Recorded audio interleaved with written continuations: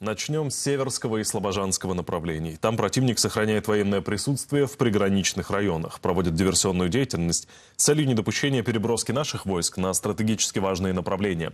Наращивает плотность минно-взрывных заграждений вдоль государственной границы в Белгородской области. На Купенском направлении враг совершил три безуспешных штурма позиций сил обороны в районе населенного пункта Синьковка Харьковской области.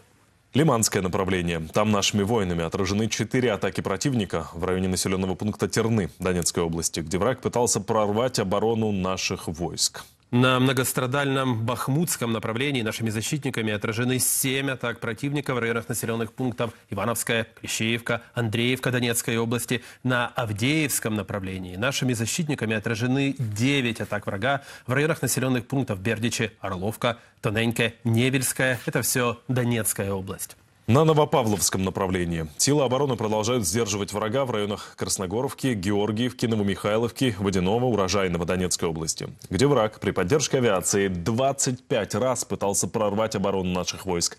Тщетно. На Ореховском направлении враг 9 раз пытался атаковать позиции наших защитников в районах населенных пунктов Старомайорская, Донецкой области и Работина, Запорожской области безуспешно.